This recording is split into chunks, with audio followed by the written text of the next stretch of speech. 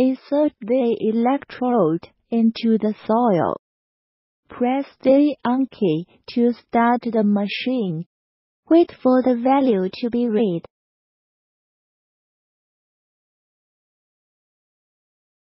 Press and hold temp to switch F.